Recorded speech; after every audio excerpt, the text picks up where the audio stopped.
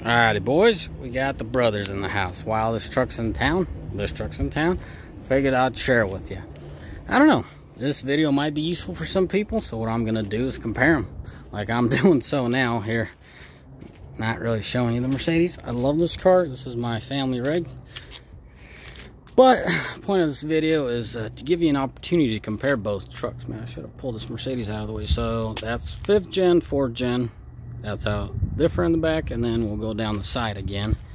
As you could tell factory flares this one had aftermarket flares. I pulled them off. You see the little arching there. I really wish I wish this truck had this truck side steps. Yes this looks cleaner looks cleaner that's all I'm gonna say. This is a lot more useful. I love those wheel to wheel and as I've said in the beginning of the video my other videos if these amp or whatever power boards ever croak out this truck this truck's gonna get these kind of steps priced them out i think they're 1200 bucks. So there you have it. You know door door handles are a little different. Oh we got a guy here. The driver to this vehicle is here. So the doors are a little bit different a little bit more accent here. This is just straight up chrome. Well just trying to help you guys the guys that are out there looking at these and really what's the difference? Well here you have it you know i'm doing my best. The mirrors are the same upon uh, you know this factor but then the fourth gen doesn't have all this shenanigans under here. So he has the little spotlight the light which and camera. This one doesn't have any of those but a light a a light. I put an aftermarket one. I put an aftermarket blacked out light. I have blacked out lights of these at home as well but we'll see. If these burn out i'll, I'll put those. They look pretty cool as far as the the mirrors i will i will say they will bolt on. And my as far as i could tell they will bolt on but obviously you're missing the camera. This limited has it that one doesn't.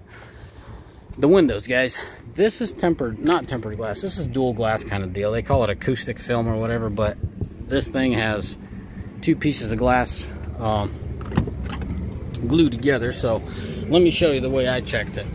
If you click on her and get her going there's best way to tell I'll I'll just keep it simple for y'all. Dual glass okay? That's two glass two pieces of glass. So this glass you can see how it's rounded off. Just a piece of glass rounded off okay? Nothing special. Now if you go in this one let me show you.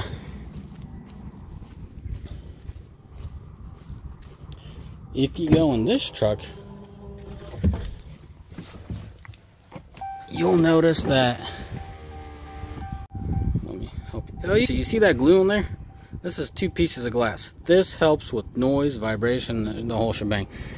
This is dual glass scenario. They call it, um, I mean, it's sticky. they call it an acoustic package or whatever. I, know it's part of the package I bought in this vehicle and it was, it mentioned it, I forgot about it. And then when time came to, to tinting it, the guy that I approached, he was like, dude, I think that's dual glass because off the bat, it has this bluish tint to it, you know, when they're not tinted. So, and then we looked at it. He's, yeah, dude, this is a dual glass deal. He's like, good thing I looked. Just in case if you ever want to pull off this tent, you cannot heat the glass. At the, at the time, I was just applying tent. Yes, I freaking tint the piss out of this truck. Anyways, so let's stay focused here. Guys, I, I'm trying to make this as quick as possible so I go back in the office and help my boys out. But I saw this truck out here. I figured some of you guys will enjoy it. So, probably should have flipped these things around so driver to driver passenger to passenger but now forget it. Let me finish exterior then we'll go back to interior. So up front um you know you pick your own. Because I've spent more time with it I could say I like the front end of this truck more. It has grown on me and it's grown on me very quick. This truck sits lower than that truck because that one's still level this one isn't. I did not lower that truck I left it level. It, it just time to do we didn't have and we didn't see it as a huge necessity. So we left it alone looks good yada yada whatever we'll leave it on only thing this truck needs is a heavier stance and that meaning meaning what i mean by that is give it a i don't know two three inch lift up front probably an inch in the back it'll, it'll look nicer.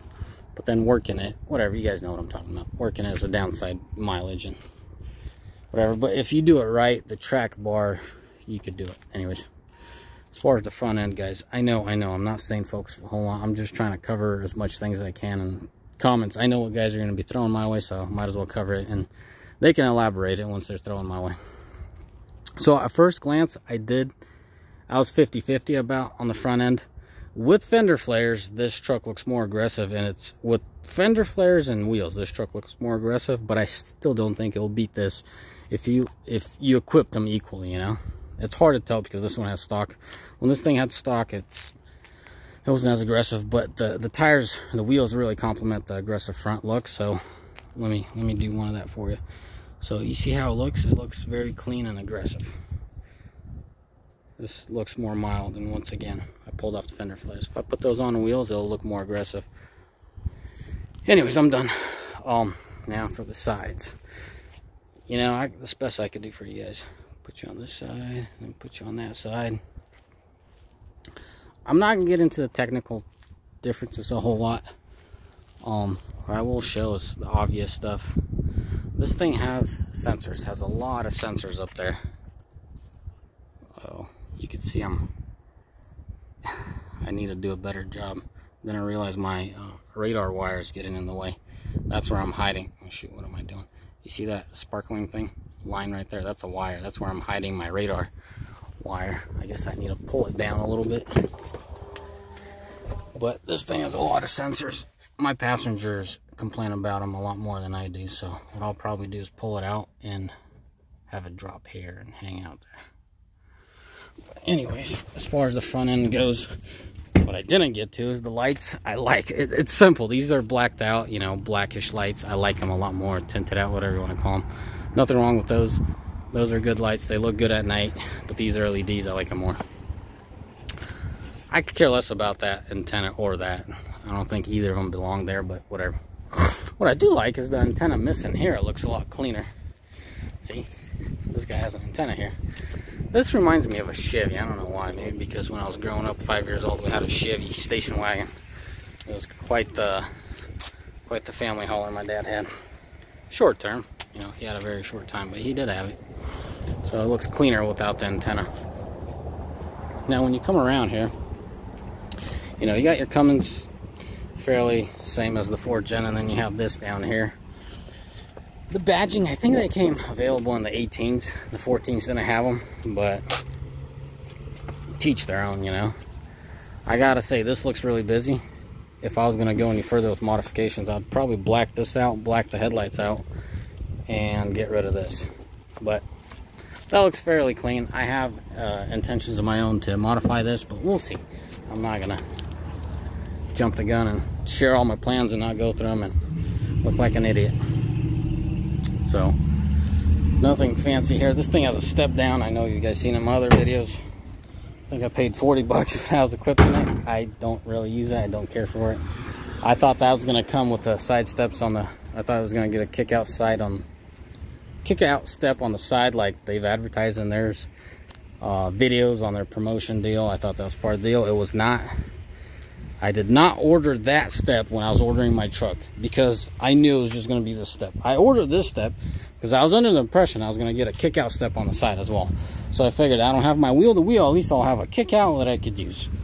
I was misled if that's what you could put it, if that's the way you want to put it, but I'm not going to cry over it. So yeah, as far as the, I mean, I didn't cover this side, but for all you boys that haven't seen it, here you are. Now, let's show you the interior a little bit. I'm to put you on pause real quick. I think he wants to access his truck. All right, back to business we go.